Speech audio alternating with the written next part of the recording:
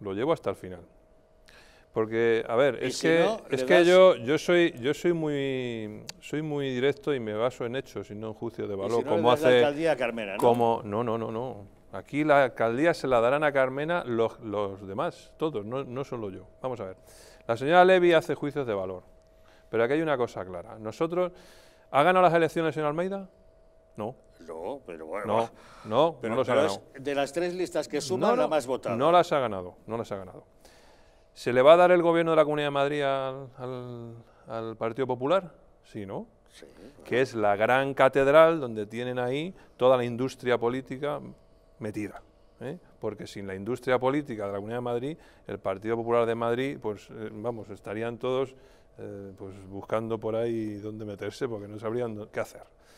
Bueno, esa es la clave. O sea, tú quieres mantener la Comunidad de Madrid. Es más, yo le daría la Comunidad de Madrid íntegra. Todas las consejerías. Todas las Y a consejerías. cambio, Begoña alcaldesa, con concejales del PP. Y de, y de Vox, por supuesto.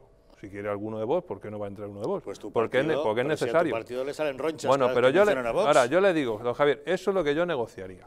Y, y tengo 100% de seguridad de que eso se llevaría a cabo.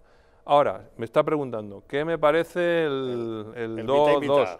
Bueno, esto es algo que se ha hecho ya en muchos ayuntamientos a lo largo de la historia. Yo conozco muchos casos. Lo que pasa es que nunca se ha hecho en una ciudad, de- digamos, y es, significativa. y es efectivo eso.